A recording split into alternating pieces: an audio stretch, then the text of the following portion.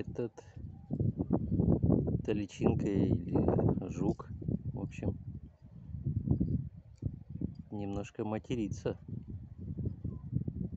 судя по его мимике.